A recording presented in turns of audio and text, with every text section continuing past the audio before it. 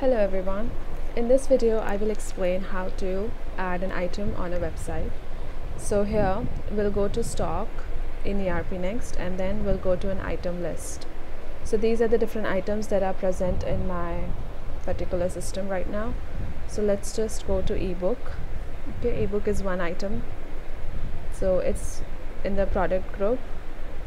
From here I'll go to a website and I'll just check on this show in website.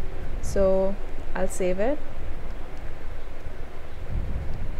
And in this way the item will be available on the website. So let's go to this route.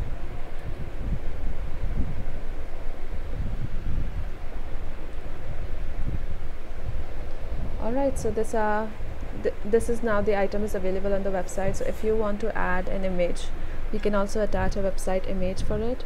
So let's go and browse and add an image for it.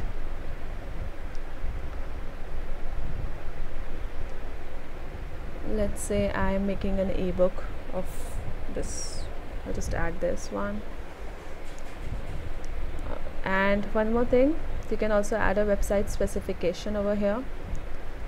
So let's say I want to add a label such as how many pages are there in this ebook. So I'll just say that okay there are like 200 pages and I'll save it also I can add more description about the ebook. So ebook is about how to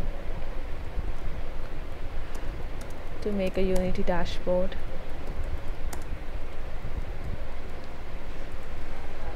And you can add more description according to your preference. So let's go and have a look at it. Now we can see some extra details over here. Yes so we can see that pages is 200 and this is a description that I'm getting over here so yes this is how you add an item on website as well as you can also add some more details about it. Um, thank you so much for watching